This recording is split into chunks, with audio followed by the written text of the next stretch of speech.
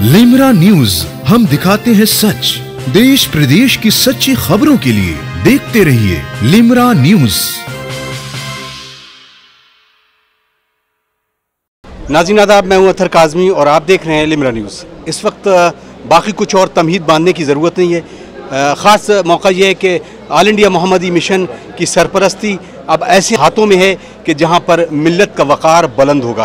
अ, हम बग़ैर किसी तमहीद के आली जनाब हज़रत मौलाना अबू बकर शिबली मियाँ से गुफ्तु करेंगे और खसूस इस बारह रबी अव्वल को जो जुलूस मोहम्मदी है उस हवाले से बात करेंगे। सबसे पहले बहुत बहुत खैर मकदम है आपका। आज ये पूरा प्रोग्राम और ज़ाहिर सी बात है कि मिलत के लिए भी फ़ख्र की बात है। तो क्या तासुरात हुए? अल्हम्दुलिल्लाह मेरा मकसद भी यही है कि बात जहाँ तक हो और दूर तक जाए। जी।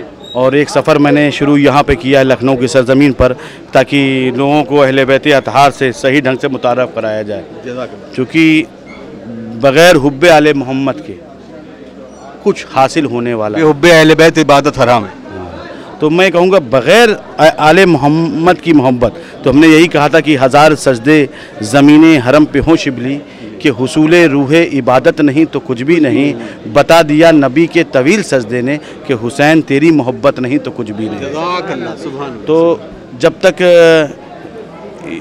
मतलब अहल बैत सादात ग्राम और उनसे नस्बत उनके खानवादे आज मखदूम सुल्तान सैद अशरफ जहांगीर समनानी के उर्स की छः सौ छत्तीसवीं मतलब साल हो गया है और आज हम इस पर मनाया ये इमाम हुसैन की औलादों में से थे। चलिए आपने बहुत अच्छा एक पॉइंट एरेज किया है। हम बुजुर्गान दीन की तालीमत को भूलते जा रहे हैं और खसूस अब तो एक ऐसा ग्रोह आ गया है कि जो बुजुर्गान की कोई बात ही नहीं करता है। वो सीधे तवक्ल करता है ऊपर से। तो ख़ास तौर से आज भी जो तवसल की बात है उसके बारे में हम चाहेंगे क्योंकि पैगाम आपसे जाएगा एक आलम दीन की हैसियत से। तो उम्मत मुसलमा के अंदर भी यकजहती और ये तमाम प्रोग्राम के असल में देखिए तवक्ल भी बहुत अच्छी चीज़ है और तवसल भी बहुत चीज़ है।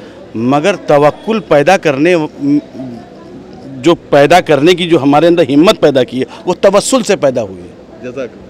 उसकी वजह बता तवक्कुल हम कैसे पैदा कर सकते हैं? तवक्कुल तो उस वक्त पैदा होगा जो उस तवक्ल को मज़बूत करने वाली ज़ात ने हमें तवक्ल पैदा किया हो। तो वैसे सरकार मदीना सल्लल्लाहु अलैहि वसल्लम की ज़ात थी कि उनके वसीले से हमने हम हम अल्लाह को क्या कुल हो, हो अल्लाह हो वो अल्लाह है कि हम क्या जानेंगे?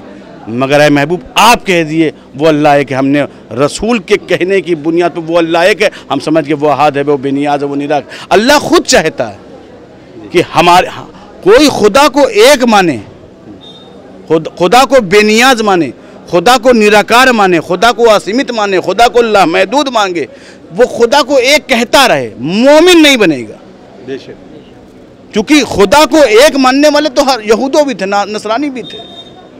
वो भी खुदा को एक मानते थे। खुदा को एक मानना मोमिन की अलामत नहीं है। जब तक कि खुदा को एक मानने के लिए ज़रूरी है कि आप ला इलाहा बोल रहे हैं, ला इल्लल्लाह, नहीं है महमूद मगर अल्लाह के, आप मवाहिद कहलाएँगे। मगर जैसे ही आप कहें मोहम्मद रसूलुल्लाह, आप मोमिन कहला देंगे।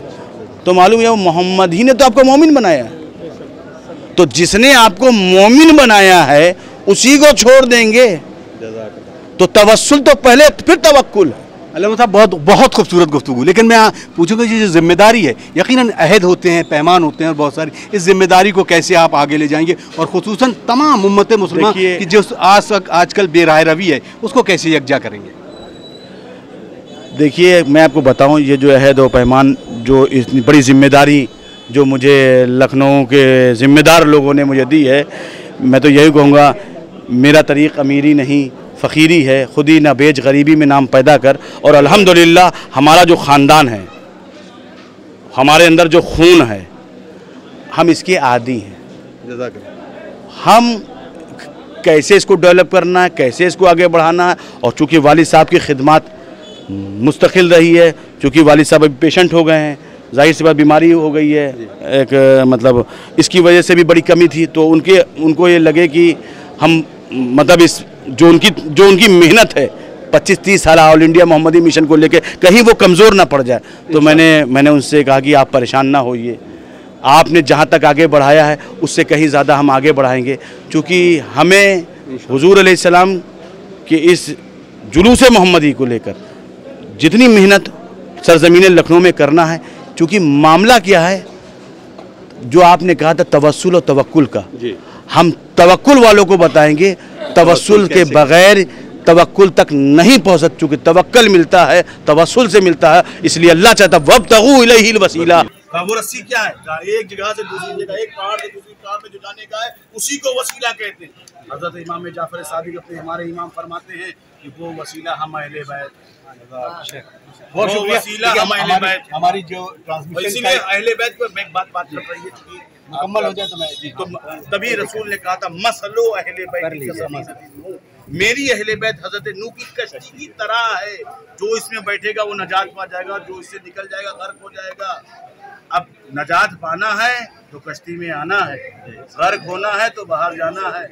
चाहे तुम किसके करीबी हो, ये नहीं देखा जाएगा। तो कश्ती में आ गए तो कामयाब। बहुत बहुत शुक्रिया। तो हमसे महबूब गुफ्तु दे शुक्रिया। और यकीन आज हम बहुत ज़्यादा खुश हैं और सुम्मा अलहमदिल्ला कि हम उस हाथों में उन क़्यादतों को देख रहे हैं कि जिससे मिलत को, और न सिर्फ़ मिलत को, बल्कि तमाम उम्मत मुस्लिमा यकजहती के साथ साथ बारह रबी को जुलूस महमदी में यकजा और साथ साथ रहेगी। हम बात करेंगे सैयद बाबर अशरफ जिलानी साहब से जो इस वक्त हमारे साथ और ये हमारे लिए भी बायस फ़ख्र और सआदत है कि हम उनसे बात करने जा रहे हैं। बहुत बहुत खैर मकदम है कि जल्दी से मैं तमाम करूँ क्योंकि बहुत से लोग अभी भी जाना चाह रहे हैं और वक्त बहुत ज़्यादा हो गया। पहला पैगाम यह है कि जो ये मिशन शुरू हुआ जिसको ऑल इंडिया मोहम्मदी मिशन के नाम से जाना जाता है इसको किस तरह की और ज़्यादा चीज़ों की, उसकी इफादियत की ज़रूरत है और कैसे इसको आगे ले जाना ये मोहम्मदी मिशन को आप कहते हैं।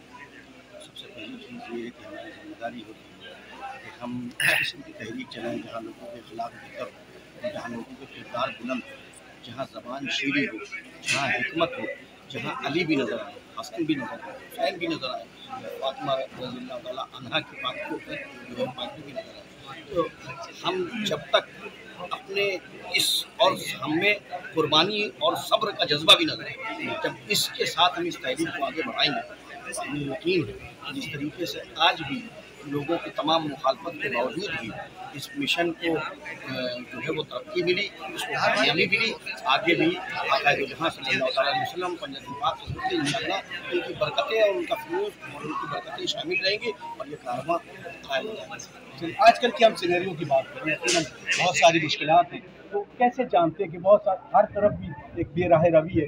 लोग एक दूसरे पर तान तशना कर रहे हैं तशनी कर रहे हैं। और उस पर भी सबको कुफ्र के फतवे तक, तकफीर के फतवे और तमाम चीज़ें। तो किस तरह के पैगाम की ज़रूरत है कि आज जो हुकूमत है और तमाम दीगर जो परेशानी है उसको कैसे हम हैंडल जो एक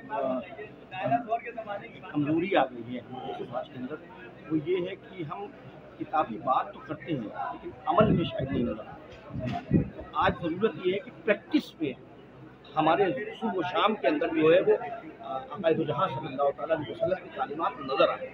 ये जिस दिन नज़र आने लगेगा, मैं बहुत छोटी सी चीज़ आपको इशारे देकर निकल जाता हूँ कि गुड़िया का किस्सा बड़ा मशहूर है कि अकायद जहाँ अलैहि वसल्लम की गुड़िया पूरा डाला करती है। ये भी नई तारीख में नहीं मिलता कि आका ने रास्ता बदल दिया आका ने उसी रास्ते से आना जाना कायम कायम रखा जब वो अलील हो गई उसकी तबीयत तो ने अपने कैबिनेट से पूछा कि भाई क्या माजरा हो गया? फरमाया कि उसकी तबीयत अलील है, उसमें वो कुत और ताकत नहीं रही कि आप आपका कूड़ा डाल सके। आका तो जहाँ सल्ला अलैहि वसल्लम, उसकी अयादत के लिए तशरीफ़ ले गए इसी गए वो शर्मसार हुई। शर्मसार हुई, उसकी आँखों से आँसू जारी हुए और उसने कहा कि आपकी बारगाह में जो है वो तौबा की और उसके बाद ला मुहम्मद रसूलुल्लाह की कलमा पढ़ा। यानी हमको हमारे लिए मैसेज था कि वो शख्स जो जुल्म ज़ाती कर रहा था, उसका रास्ता गलत था। आकायद जहाँ सल्लल्लाहु अलैहि का रास्ता ठीक था तो आपने इखलाक से, किरदार से उसको मजबूर किया कि वो रास्ता बदले।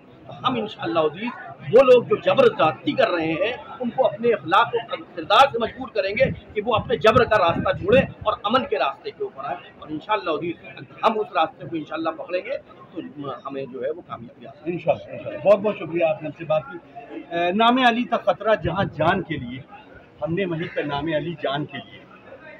और यकीनन, ये नाम जानकर इसलिए लिया जाता है कि जब हम अली का नाम लेते हैं तो हमारे अंदर एक अलग तरह की तवानाई आती है। और ये तवानाई दुश्मनों के लिए, बताने के लिए काफ़ी होती है कि हम कुत कुत भाईचारा, हर चीज़ का दामन रखते हैं। और खैर बात तो ये है कि दीन और इस्लाम की बातें बेहतर हैं, पहुँचाने का तरीका चाहिए। कैमरा मैन इमरान हैदर के साथ, मैं अथर काजमी लखनऊ।